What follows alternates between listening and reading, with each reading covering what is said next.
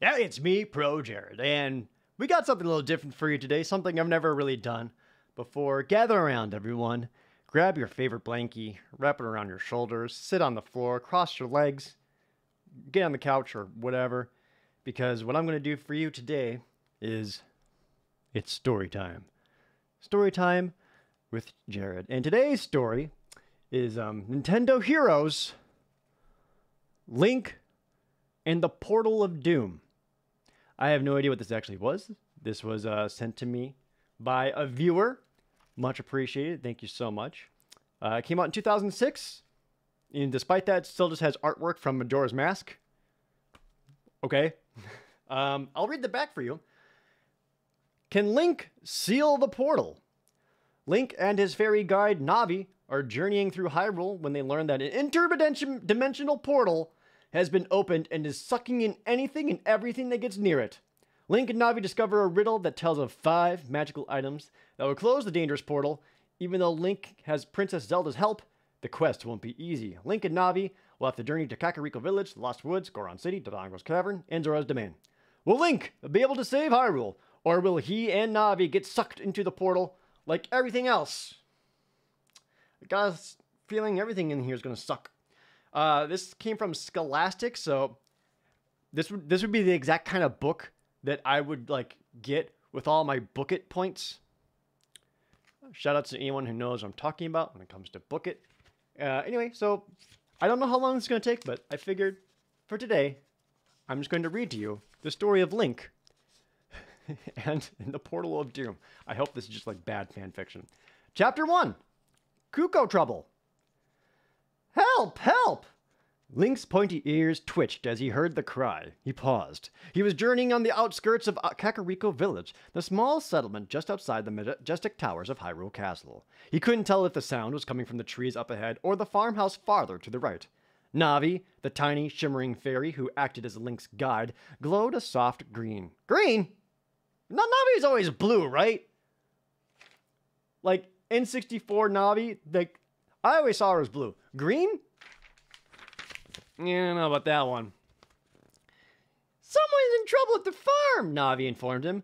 Link nodded and ran toward the farmhouse. Ever since he had agreed to help Princess Zelda cast out the evil that threatened Hyrule, every cry for help sent Link's heart pounding. Had the dark figure that threatened him in his nightmares finally come to life? Link sprinted swiftly across the grassy field. The cry came from a distraught looking farmer, a skinny man dressed in well worn overalls. He stood in front of a rickety pen made of spindly logs. Are you in danger? Link asked. Oh, Link. Oh, Link asked. I'm sorry. Link is talking. I, that's how you know the book sucks. Link's talking. Um, you know what? I'm choosing to just assume Link in this book is a lot like Link from the Legend of Zelda cartoon, and that's how I will be portraying him. You're welcome. Whoa, are you in danger? Link asked him. It's my cuckoos, the farmer wailed. They've all disappeared. Link sighed. It seemed like none of the villagers could keep track of those brainless birds. They've probably just wandered off, Link told him. But the farmer shook his head. Not my cuckoos! Something terrible has happened. I can feel it.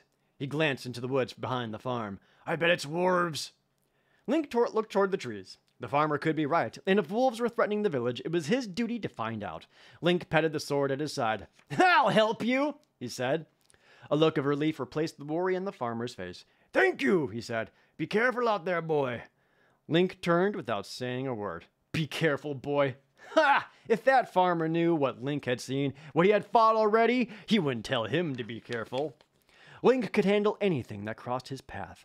Navi fluttered ahead as Link silently entered the woods surrounding Kakariko Village. Even though he was just looking for some confused cuckoos, it was paid to be cautious. You never knew what was hiding in the woods these days. Cluck, cluck, cluck! Something whizzed past Link's cheek. He jumped, startled. A mass of white feathers zoomed through the trees. A cuckoo? It couldn't be. Cuckoos could barely get off the ground, much less fly at lightning speed. But that was what it had looked like. Link charged after it. Running as fast as he could, Link almost caught up to the bird. It was a cuckoo, all right, but it wasn't flying. It was as though some unseen force was pulling it through the air. As Link ran, the trees thinned out a bit, and a stone wall came into sight. Link cringed. No. Link watched some of Pro Jared's old YouTube videos. The cuckoo was sure to smash it. Instead, the wall sucked the bird right inside it. Surprised, Link slowed his pace. The cuckoo had vanished into a swirling vortex of dark wind. Link, be careful, Navi warned in his ear. But the warning came too late. Link felt a magnetic pole grip his body. He was being sucked into the vortex. Chapter 2 A Mysterious Map. How many chapters is this? Some? Some. It's it's some chapters. 12. All right, well, whatever. Link dug his heels into the dirt, but the vortex at the center of the wall pulled him closer. As he reached the wall, an otherworldly coldness touched his skin. With all his strength, Link grabbed the top of the wall. The vortex sucked at his body, pulling the cloth of his green tunic closer and closer to the swirling winds. Link fought the pull, heaving himself onto one side. The pull released him as soon as he was no longer directly in front of the vortex. It's some kind of portal, Navi said, emerging from a safe spot behind Link's head. if it's a portal, then it must lead somewhere, Link remarked. Navi blinked thoughtfully. Link's fairy guide knew just about every inch of Hyrule. It is unnatural, she said finally. It seems to lead to some other dimension. Link remembered the strange chill he had felt. Probably not a nice one, he said. For a second, he felt sorry for the Cuckoos. This thing's a menace. Isn't there some way to close it? Some kind of door or something? Look closer, Navi instructed. Link stepped back from the wall. An inscription had been carved into it underneath where Link's hand, hands had just rested. Below the words was what looked like a map of Hyrule. It's ancient Hylian, Link said. I can't read it. He frowned. Maybe the map would be more useful. As he examined it more closely, Link noticed that five musical notes, each marked with a different number, dotted the map. It was interesting, but it didn't show him how to close the portal. Hoot hoot! Oh, oh God. The sound jolted Link from his thoughts. He looked up to see a large brown owl perched on a tree branch overhanging the wall. Link smiled. Kaepora Gaebora, he said. Have you come to help? If you like, the owl replied. I can read ancient Hylian. Good. I'm good thing you showed up. I appreciate your help, Link said. Kaepora Gaebora read the words inscribed on the wall. Open I will when the stars align and the full moon hangs in the summer sky. A door to a world beyond this world, a world of danger, terror, strife. Close I will when the song is played. Close till the stars align once more. Link frowned. Navi was right. The portal led to another dimension. And from the inscription, it didn't sound like a good place to visit. It's probably like our world, right? Is this reverse isekai? That'd be awesome. Link thought of the inscription's words somehow. Inscription's words again. Somehow, astral convergence must have opened the portal, and the only way to close it was with a song. What song? Link wondered. Link's eyes strayed to the map. The five musical notes seemed to leap out at him. The map is the key, Link said. It leads to the song. There must be five parts to it, one part for each musical note on the map. Link took a rolled up piece of parchment from inside the pack he carried with him. He searched the ground until he found a piece of soft black rock. Then he placed the parchment over the map and began to rub with the rock. An imprint of the map began to appear. Kaepora Gaebora nodded approvingly. Very smart, the owl said. Link tucked the map inside his pack. He had pledged to help Princess Zelda save Hyrule. This portal was definitely a threat to the land. He knew it wouldn't be long before the vortex started sucking in more than a few stray cuckoos. If only the way if the only way to close it was with a song, then Link would just have to find that song. Link looked up at the owl. Thank you, he said. You're welcome, replied Kaepora Gaebora. Just call me if you need me. Link marched back through the woods. Where are we going? Navi asked, fluttering around his face. We're going to find a song, Link replied. The first musical note on the map is in Hyrule Field. We may as well start there. Navi blinked in agreement, and the two continued on. Hyrule Field was a large stretch of land that took almost a day to cross. However, the musical note on the map appeared in the eastern portion of the field, and Link knew it wouldn't take too long to get there. Link and Navi quickly reached the field from Kakariko Village. While they walked through the field, the orange sun began sinking into the horizon. Navi's wings began to beat quickly against Link's cheek. It will be dark soon, she said nervously. We must be careful. Rats, Link muttered. He should have known better. Hyrule Field was a safe place during the day, but dangerous creatures came out in the dark of night. Link had lost track of time while trying to figure out how to close the portal, but it was too late to turn back now. The darkness seemed to be falling more quickly now, as though someone were speeding up time. We just need to get on the path, Link said. Rilby! Something grabbed Link's ankle, and he fell flat on his back. A skeleton hand had burst from the dirt and now gripped him with an unnatural force. A Stallchild! Link cried. Chapter 3 A Message from Zelda. The ground rumbled as three pairs of skeletal hands burst through the crumbling earth. Link kicked violently, freeing from his ankle uh, the monster's grasp. He jumped to his feet and drew his Deku sword and his Deku shield. The skeletons pushed all the way out of the ground now, fixing their dark, hollow eyes on Link. In his travels, Link had faced monsters far more dangerous, but the dead-eyed Stallchilds always chilled his blood. Link lunged at the Stallchilds with a series of quick cuts, but they had surrounded him by now. Link moved swiftly, slicing his sword as he turned. As he turned, smack! His sword connected with one of the Stallchilds. The creature tumbled back and then ran off into the darkness. They look awful, but they're not as brave as you'd think, Link reminded himself. He turned to face the other two monsters. Slash! Another Stallchild reached out and clawed Link with a bony hand, slicing his green tunic and scratching his arm. Angry, Link struck back. The Stallchild stumbled, crumbled at his feet. Without stopping, Link swung his sword around, striking the last Stallchild in the rib cage. The blow sent the creature flying backward. Link nodded, satisfied. But without warning, the Stallchild at his feet gripped both of his ankles. Link struck with another blow from his sword, and the Stallchild let go. But the momentum sent Link falling backward. Whack! Link's head smacked against the rock sticking out of the dirt. His breath left him in a harsh grasp, and then everything went dark. Is he dying? Link felt his body swirling, whirling, as though he were trapped in the vortex again. Dark clouds surrounded him, and his body felt cold. And then suddenly, the darkness parted, and Link saw the face of Princess Zelda in front of him. There was concern in, lar- in her large blue eyes. What? How did we get here? What? Wake up, Link, she said. Help is just beyond the oak trees. Wake up!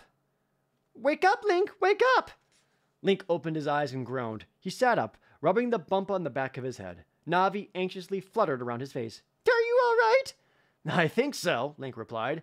He still felt groggy. Then, suddenly, the memory of his recent battle came to him. The Stallchild! he cried. He tried to jump up, but he was unsteady on his feet. You took care of them, Link, Navi said. But I'm worried. I think you need help. Help is just beyond the oak trees. Had he really seen Princess Zelda? Or was it some kind of dream? He scanned the trees on the edge of the field. Just off the path, two large oak trees formed an archway with, with their branches. Link walked toward them. Where are we going? Navi asked, but Link didn't answer. He wanted to be sure. A large round boulder sat just past the trees. It was an odd place for a boulder, Link knew, and that usually meant one thing. Link took a small blue bomb from his pack. He lit the fuse with his Deku torch and hurled the bomb at the boulder. Run! Link cried. Navi flew behind him as he darted away. Bam! The bomb exploded, blasting the boulder to sand. When the smoke cleared, Link walked up to where the boulder had stood. It was just as he thought. The boulder had blocked a passage to an underground grotto. Link and Navi climbed down into the dark tunnel. The tunnel opened into a chamber filled with soft, glowing light. Water bubbled in a stone fountain in the back of the chamber. The glow came from five tiny fairies who darted among the flashing drops. They blinked with excitement when Link entered. You are hurt, one of them said. We can help you, said another. The fairies began to glow brighter. The white light washed over Link, and instantly the pain in his head was gone. He felt lighter, stronger, as though he had just had a full night's sleep. Thank you, Link said. Princess Zelda said you would help me. The fairies blinked in response. Link turned to leave the grotto, but something made him stop. The fairies sang a simple tune. Just five notes, but they kept repeating them. Excited, Link took out his map. The musical note on Hyrule Field was just about where the grotto was located. Could this be the first part of the song? Probably. Uh, and with that, we're going to chapter 4 into the Lost Woods. Just finding these really easy. Link took out the fairy ocarina given to him by Saria, his friend from Ko- Kokiri Forest. Saria. Saria? Sorry? Saria? We never really did determine How to say your name? Saria? Like Maria, but with an S? Doesn't matter. He put the small flute to his lips and played the notes along with the fairies. The fairies blinked in different colors to show their happiness, like a like a rave. Link put away the fairy ocarina and took out his map. He was surprised to see that the first musical note on the map was glowing. I think you found the first part of the song, Navi chirped in his ear. I think so too, Link said. He put the ocarina and map back into his pack. Thank you so much. You have helped me more than you know, Link said to the fairies. Link and Navi emerged from the grotto and found that morning had dawned. Time had a funny way of passing when you were around fairies. Then again, he had no idea how long he had been unconscious. Link and Navi had to move fast. They were losing valuable time. The second part of the tune is in the Lost Woods, Link said. We had better move fast. Which they, I, the narrator also said. When Link reached Kokiri Forest, his home, the forest's elf-like inhabitants were just walk, walking, waking, leaving their homes to greet the early morning sunlight. Link nodded as he passed. There was no time to talk today. He was on a mission. The green leafy woods became darker and more crowded, and when they reached the Lost Woods, Link knew he had to be careful. He o- had always thought Kokiri Forest was a beautiful place, where sunlight reached down through the trees to coat everything in a warm glow. But today, the sun seemed to have overlooked the lost woods. Now the trees were a complicated maze of twists and turns. Link took out the map and studied it. The musical note was located in a small glade in the center of the woods. Link planned out his route, then put away the map. Link marched through the woods, staying on the path until he came to a crossroads. He made a right turn, knowing it would lead him to the center. You seem to know exactly where you're going, Navi remarked. You mean me to guide you? I always need you, Navi, Link said, smiling. Every Kokiri child received a fairy guide when they were young. Link had waited longer than usual for his, and he was happy to have her. They walked on, and Link made another turn. He replayed the tune of the fairies in his head. He didn't want to forget it. Thunk! The loud sound broke his train of thought. Thunk! Something whizzed past Link's ear, and he spun around. Two Deku Scrubs ran toward them. The small brown creatures had leafy tops and long snouts that enabled them to shoot Deku nuts at passers-by. Link frowned. They must have strayed from their home in the Deku tree. I also frowned. Just a couple Deku scrubs show up. You're just like, mm, I don't want to deal with you right now. Link quickly raised his Deku shield. Thunk, thunk, thunk. The nuts harmlessly bounced off.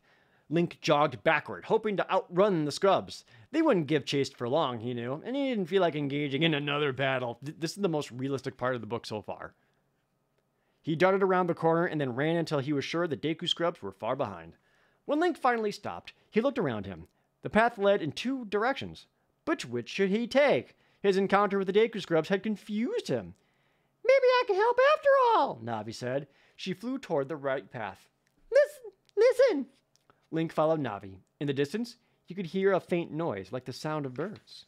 Link jogged toward the sound. It had to be the second part of the song. He turned a corner, and the sound grew louder. Look out! Link stopped just as a Skulltula dropped in front of his face. The creature looked like a giant spider with an image of a skull on its back. Its six red eyes glowed menacingly, and a foul smelling liquid dripped from its sharp fangs. Link quickly ducked. It was no use attacking a Skulltula head on. Its armored body was nearly impossible to pierce. Link somersaulted, landing on his feet just behind the Skulltula. He knew its soft underbelly was the only place it was vulnerable. Link quickly speared the creature. Now the Skulltula hung limply from its thread. Oh, it didn't even. It's just dead. It's just hanging there dead. Didn't disappear. It's just. Nasty business, Link said, shaking his head and remembering the bird's song. Thanks for the warning, Navi. Navi blinked. I think the birds are this way, Link. Link followed Navi, and the growing sound of the birds led him to the tree in the middle of the small glade. Five birds sat on a branch, happily chirping the same five notes over and over again. Link checked the map. Sure enough, the second musical note began to glow. Link took out his ocarina and joined in. The birds flapped their wings, pleased with the accompaniment. Suddenly, the birds took flight. They flew in a circle around Link's head. Then they flew out of the glade, as if beckoning Link to follow. Link chased after them. They finally perched on a bush near a tunnel that had been carved into the bottom of a hillside. It's some kind of shortcut, Navi told Link. They're trying to help. Link nodded to the birds. Thank you, he told them. Then he and Navi walked inside the tunnel. And it's just that easy, folks. Just just find it. A couple birds, probably what you need. Chapter 5 The Road to Death Mountain. We're just really like halfway through. We're just zooming through this. Link let a Deku strike. Let me try that again. Link let lit a Deku stick to light their way as they traveled through the tunnel. To his relief, the dark passageway held no nasty surprises. When they finally emerged, Link found himself standing in front of the marketplace. That's strange, Link remarked. Goron City! The next stop on the map sits high atop Death Mountain. Why did the birds lead us here? Maybe there's something here you will need, Navi suggested. Link felt the right pocket of his tunic. It held about 100 rupees, all earned from helping others along in his past journeys. Definitely not from murdering monsters or cutting grass or finding it in people's jars in their homes. All his money came from purely benevolent means. He scanned the crowded marketplace, which contains stalls that sold anything one could imagine. The glistening glass bottles at the front of the potion stall caught his eye. A healing potion would have come in handy earlier when he had banged his head. Link approached the stall and purchased a green potion for 30 rupees, the going rate.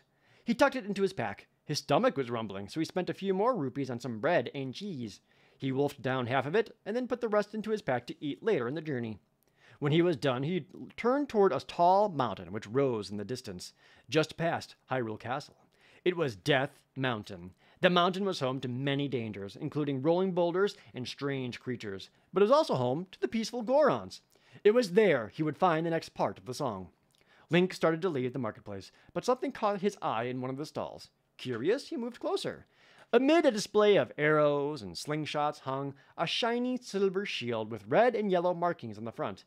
Link had seen the Hylian shield before, but his pocket had been empty of rupees then. He looked down on his Deku shield, which had served him well, and which would surely say it for him again. But as Link looked at it more, he said, This thing sucks all the suck. What a piece of shit. The Hylian shield would come in handy. Eighty rupees! The stall keeper, a tall, muscular man with a long black, black mustache, barked the price in Link's face. Link looked at the coins in hand. He had 70 rupees left.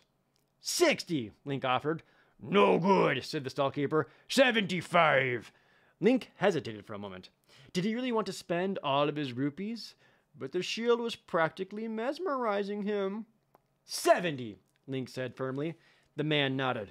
The shield is yours. It's a fine piece, forged from the fires of Hyrule's finest blacksmith. The stallkeeper took the shield down from the wall and handed it to Link, who accepted it breathlessly.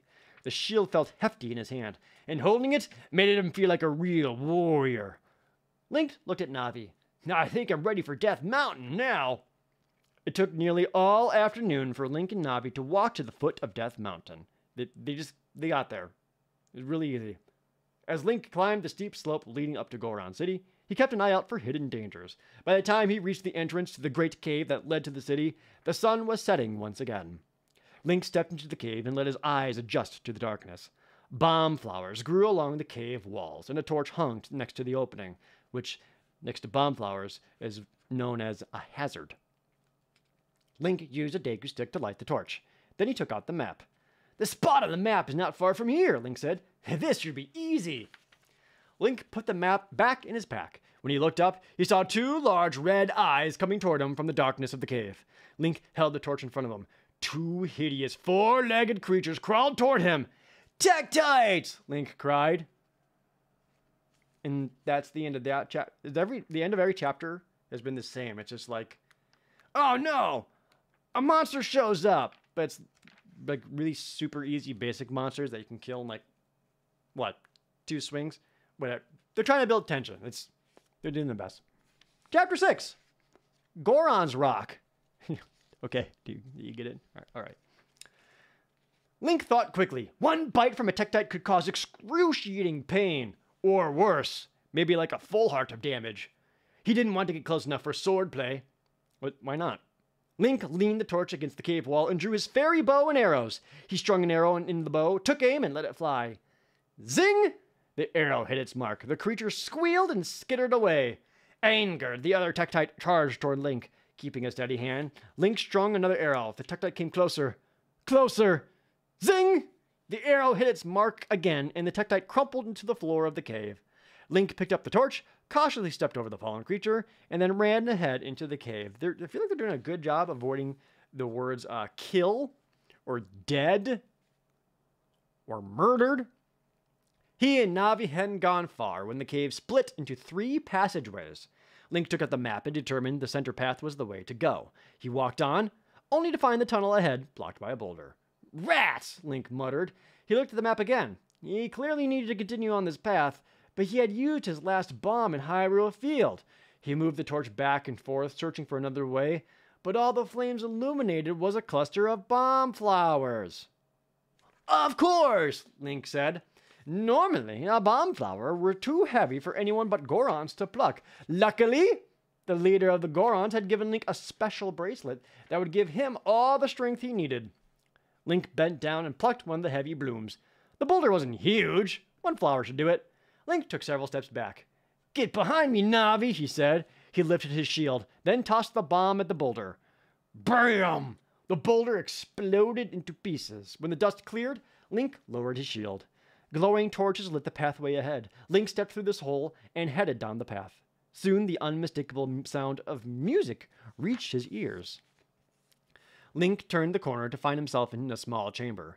Glimmering crystal stalactites descended from the ceiling. A Goron stood in front of them, holding a wooden mallet. The sight of the Gorons always intrigued Link. They were large people with round, yellowish bodies. Yellowish? Brown, brownish. That looked like they had been carved from stone. Their heads were smooth and pointy, and the most Gorons had rocky ridges growing down their back. Their large, dark eyes revealed their kindness. This Goron smiled when he saw Link. Do you like my music? he asked. Oh, I'm practicing to play at a big feast tonight. Link smiled, imagining a Goron feast. Gorons love to eat one thing rocks. I do love your music, Link said. May I hear it again? Sure, said the Goron. He began to hit the crystals with the mallet, playing five notes over and over again. I also put it onto a CD if you want to take it home with you. Do you want to get a couple extra copies in case, you know, maybe there's some friends who want to hear it too? I put my name on each CD as well. That's also where you can find my SoundCloud and my Spotify. If you want to like get the game, the music yourself, you can download it. Uh, feel free to throw a couple bucks that way. But uh, do you, you really like it though? Link looked at the map, and the third musical note began to glow. It was the third part of the song. Link took out the fairy ocarina and joined in. He played the tune over and over until he had memorized it. The Goron was pleased.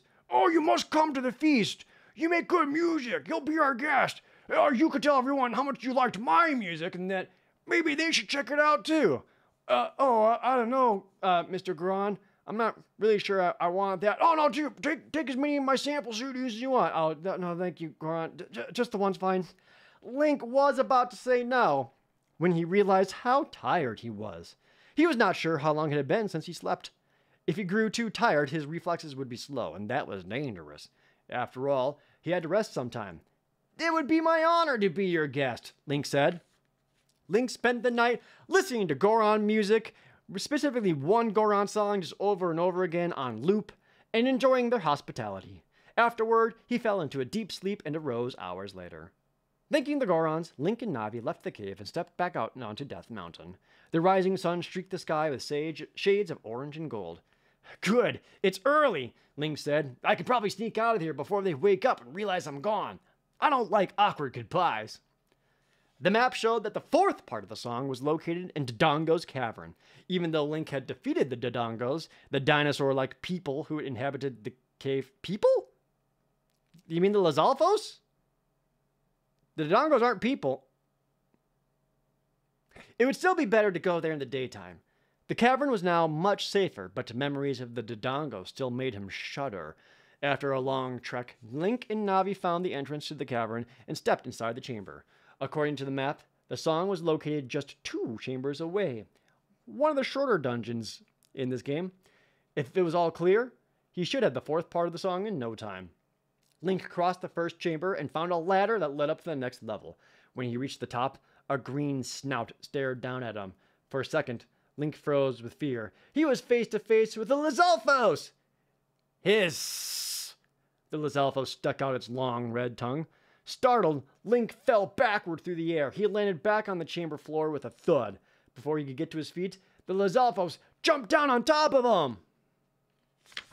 Yep, there it is. Just Another monster showed up, so you know what that means. End of chapter. Chapter 7 Danger in Dodongo's cavern. Link rolled away as quickly as he could, but the Lizalfos was faster. Slash! The reptilian creature managed to strike Link's leg with his sword. Link winced in pain and rolled away. He had fought Lizalfos before, and knew that these creatures were impossible to defeat unless you could slow them down. A Deku Nut usually did the trick, but he had no time? The Lizalfos charged at him once more, his sword raised. Thinking quickly, Link plucked a bomb flower that was growing in the chamber and tossed it. No time for a Deku Nut. But that bomb flower? Uh, plenty of time. The Lizalfos quickly dodged it, but the explosion created a moment of smoke and confusion. Link took the opportunity to grab his fairy slingshot and a Deku nut from his pack. Oh, now there's time. Okay, okay. As soon as the Lizalfos was visible, he let fly a Deku nut.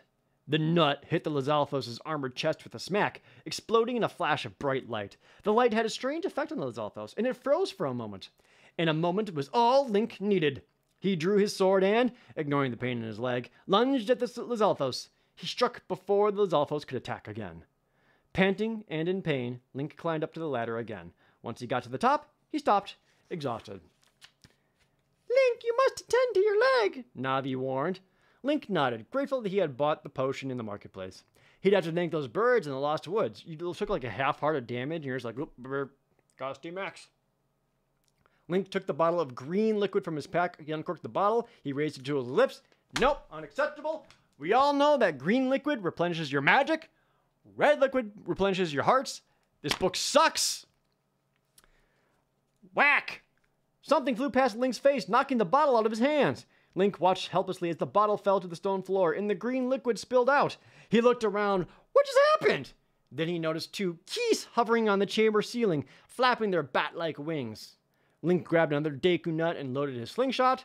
Navi took cover behind Link. Ping! He hit one of the Keese, knocking it to the floor. As Link reached for another Deku nut, the other Keese flew in angry circles around the room. The creature flew right into a torch, which set its body alight with red glow. It had transformed into a fire. It, we'll say transform. It's really it's just burning to death. Link reached for his Hylian shield, but found he no longer carried it. I must have lost it when I fell down the ladder, Link realized. He grabbed his Deku shield, but knew the wood wouldn't do much against the Keese's fire attack. Whoosh! Flames erupted from the fire key, scorching the Deku shield. The heat burned Link's face, making him suddenly dizzy. Link jumped up and threw down the shield. He'd have to take down the Keese fast. He aimed the Deku nut. Bam! Link hit the fire Keese just as it readied another attack. Flushed and lightheaded, Link sank, sank to the floor. The pain in his leg was worse now, and with his potion gone, he had no idea how to heal it. He wasn't even sure if he could stand. He lowered his head, exhausted and defeated. I'm sorry, princess, Link whispered. I have failed you. What, dude? What? I'm like the end of the world. That's the end of the chapter, by the way. Um, that was two pages, three pages.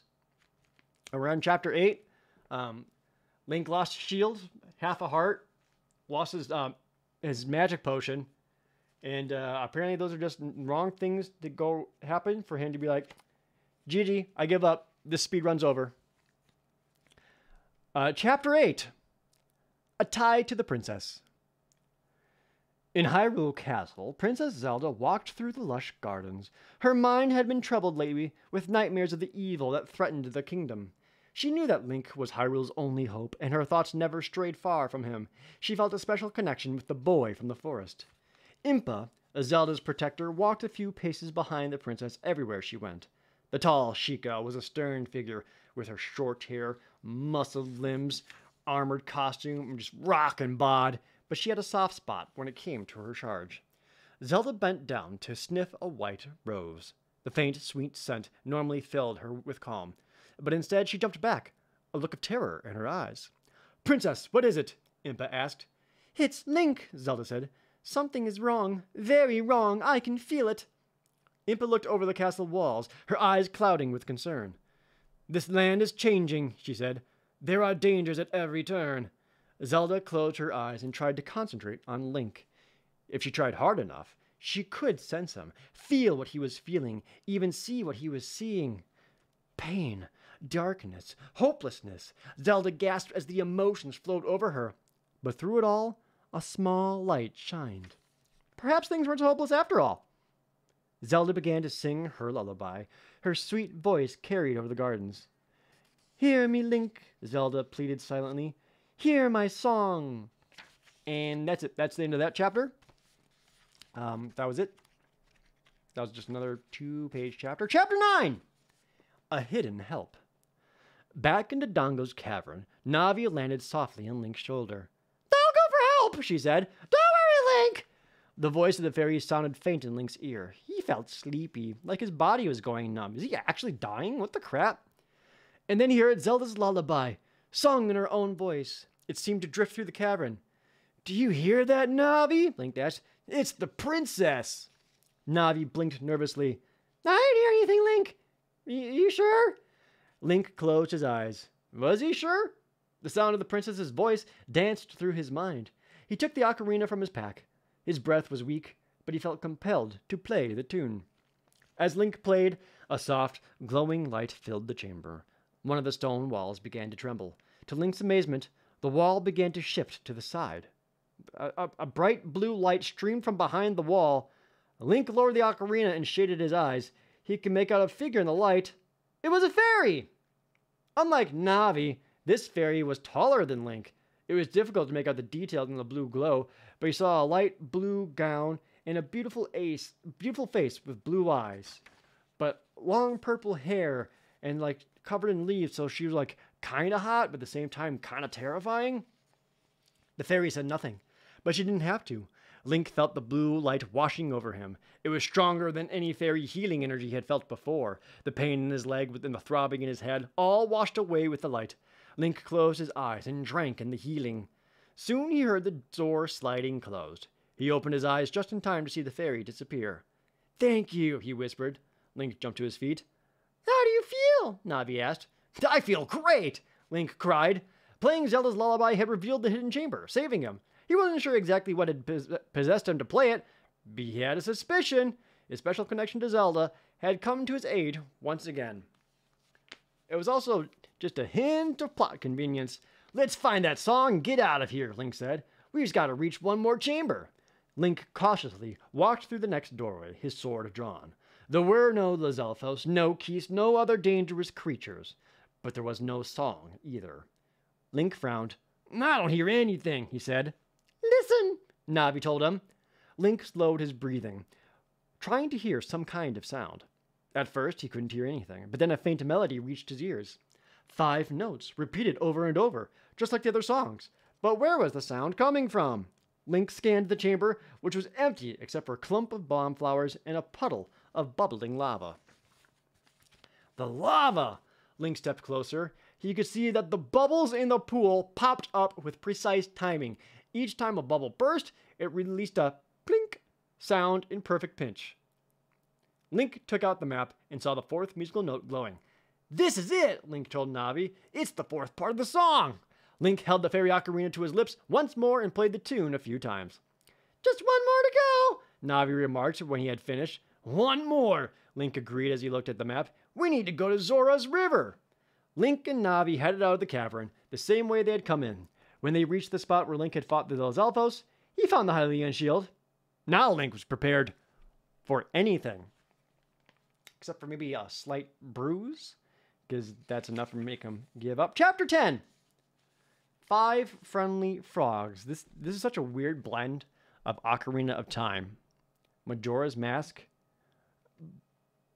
but also like Link's Awakening. And this, again, 2006. It has the, it has the official Nintendo seal on it, so Nintendo knows about the book. The sun shone brightly over Hyrule as Link walked along the banks of Zora's River, with Navi flying by his side. The map showed that the last part of the song could be found near the waterfall that led to Zora's domain. He had quite a way to go. The fairy healing had left him revitalized once again, and he had some bread and cheese left over from the marketplace. With the Hylian shield once again slung over his back, he felt more confident about what lay ahead. The bubbling blue waters of Zora's River were a lot nicer than the dank caverns of Death Mountain, where they smoked a lot of weed. Link knelt down and drank deeply from the cool water. It tasted delicious. Link wiped his mouth with the sleeve of his tunic. The Zoras, a race of fish like people, guarded the waters of Hyrule, keeping them clean and pure. Link was grateful that the evil threatening the land had not yet reached them. It was late afternoon by the time Link reached the waterfall that hid the home of the Zoras. Link sat on a rock and listened. The waterfall made a, sh- made a soothing sound as the water hit the river, but it didn't sound like the notes of a tune. The last part of the song was supposed to be here, so why couldn't Link hear it? Ribbit, ribbit. A familiar sound reached Link's ears, but it wasn't part of the ta- tune. He looked into the river to see five brightly colored frogs sitting on a mossy log near the riverbank. Each frog was a different color orange, pink, purple, aqua, and indigo. Hello, oh, oh, hello, Link, the frogs croaked in, col- in chorus. Do you have a song for us? We'll give you money if you do. Link smiled. He had encountered the frogs before. They loved to hear music, especially when music Link played on his ocarina. I do have a new song, Link said, but it's not finished yet. Link took out the fairy ocarina and played the four parts of the tune he had learned so far. The notes floated across the river, joining together to form an eerie yet beautiful tune. The frogs croaked happily when Link finished. We have heard this song before, the frog said, but when you play it, it is most beautiful. Thank you, Link replied, but I don't know the ending yet. We do, the frog said. You do? Link asked. So the map was right after all. Yes, the frogs answered. Listen. Link listened to their song and then repeated it on his ocarina. When he took out the map, he saw the last musical note glowing on the page. Navi happy flapped her, happily flapped her wings. Link, you've done it, she cried. We can go close the portal now. Link walked down to the river's edge to thank the frogs. You've helped me more than you will know, he told them. You're welcome, the frogs croaked in reply. Link started to put the ocarina back in his pack. Without warning, a round rock flew out of the river. It smacked into the ocarina, causing Link to, Link to lose his grip. He watched helplessly as the ocarina flew across the river, then sank into the water. Without the ocarina, Link would not be able to close the portal or play Zelda's lullaby if he was in trouble. He could not let it go. He swiftly stripped himself of his pack and weapons. Then he dove into the water. Be careful, Link! Navi called after him. Link could see the little flute sinking into the deep water in front of him. He reached out to grab it, and a sticky purple tentacle wrapped around his arm and pulled him underwater. Oh, so uh, this is the part of the story where it gets hot. Uh, chapter 11 The Octorok. Link struggled to free himself from the tentacle. The face of a deadly Octorok glared at him with green eyes. Now I know where that rock came from, Link realized. Octoroks had long, tube shaped mouths, and they shot rocks from them like weapons. Much like most other creatures in Hyrule, doesn't matter. Link managed to shake off the tentacle. His lungs felt like they would burst. He swam to the top of the water and gasped for air. The Octorok grabbed his leg, but this time Link was ready. He reached for his sword. It wasn't there! Link, cr- Link cringed as he remembered he had left his weapons on the river brink. uh, that's just a way funnier word these days. Oh, Link, you left your weapon on the riverbank. Oh, cringe. Ooh, ooh, I got secondhand embarrassment just reading that. Link kicked violently, but the Octorok's grasp was tight. The purple creature had eight tentacles, each of them equally strong. Angry, Link kicked harder. The tentacle unfurled, and Link swam to the top of the river. When he reached the surface, he gasped for breath. He had to swim to the bank to reach his weapons. It was his only hope. He turned toward the shore, but the Octorok grabbed his ankle. Link groaned. With each attack from the Octorok, he felt weaker. Link, look up!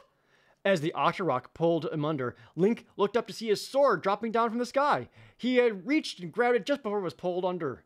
Finally, a fair fight, Link told himself. He attacked the Octorok with one quick motion. The tentacle released its grip, and the frightened Octorok swam away. Link swam to the surface again. Where had the sword come from? Navi was too small to carry it, and then he saw a brown bird circling overhead. Hello, Link, said Kaepora Gaebora. I thought you might need some help. Would you like a ride? It's pot convenience at its finest. Uh, one minute, Link replied. I need to do something. Link dove back under the water. The ocarina rested on a rock on the bottom of the river. He swam down and retrieved it. Then he swam back to the shore. The warm sun felt good on his wet body. He wrung out his tunic, and Kaepora Gaebora settled on a tree branch next to him. Navi tells me you found all the parts of the song, the owl said. Link nodded. I can close the portal now. There is no time to waste, said Kaepora Gaebora. The portal is growing stronger. Link put his pack and weapons back on. How about a ride then? he asked. Certainly, the owl said. Just grab onto my talons. Navi hopped on Link's shoulder as Link grabbed the owl's strong talons. Link nodded goodbye to the frogs as Kaepora Gaebora flew away. Ribbit, ribbit, they croaked together in farewell. The owl probably could have given him a ride to Zora's Domain, to Death Mountain, to Kokiri Forest as well, but um, he had errands to run. The owl flew swiftly over Hyrule, and the warm breeze quickly dried out Link's wet hair and tunic. When the owl landed in the center of Kakariko Village, Link saw that the villagers were fleeing their homes. Leave this place, an old man said to him. There's an evil in the woods, said a young girl. So the owl was right. The vortex was growing stronger. Be careful, Link, Navi said. You almost got sucked in last time. That's because I approached the portal head on, Link reminded her. If we approach from the side, we should be fine. The villagers watched, amazed, as Link bravely headed into the woods. Soon he felt the portal's pull. The sound of the rushing winds of the vortex blanketed the forest. Link stepped closer, cautiously and slowly. Navi flew just behind his head. Kaepora Gaebora flew above them, going from branch to branch. He just wanted to see what was going to happen. When the stone wall came into view, Link made sure to stay out of the portal's direct pull. When he was a few feet away, he took out the ocarina. Time to close the door, he said as he began playing the notes he had learned on his journey. As the first notes sounded, the pull from the vortex grew suddenly stronger. The unexpected surge in power caught Link off guard. He felt the pull lift him off his feet. Link! Navi cried. Chapter 12 Inside the Vortex. The ocarina fell to the ground. Link tried to resist, but the vortex pulled him inside the portal. It felt like a million strong hands had control of his body. He grabbed the edge of the portal, but the pull was too powerful this time. He gasped as the vortex sucked him inside. No! Link yelled with all his might. His whole body was inside the portal now, but with one last attempt, he managed to grip a small part of the wall with both hands. The swirling winds of the vortex roared around his body. Inside the wind, he could hear cries of fear and despair. The unearthly cold began to creep over his body, freezing his feet, then his legs. He had to hold on. He could not give up. Princess Zelda was counting on him. He had to return to Hyrule. I will not fail you, Princess! Link swore silently as the cold crept closer to his face and hands. Once the evil chill reached his fingers, he knew he would not be able to hang on any longer. Link, hang on! A strong, familiar voice echoed in his head. Suddenly, a strong hand gripped his. The hands heaved mightily, drinking the first half of Link, jerking the first half of Link's body out of the vortex. He took mighty gulps of the clean, warm air. Impa, Zelda's guard, now gripped both of Link's hands. Zelda nodded at Link as Impa gave another mighty pull. Oh, you're here too. Link flew out of the portal, knocking Impa to the ground. It was then that Link noticed the strong rope tied around Impa's waist. Link, the ocarina! Zelda called.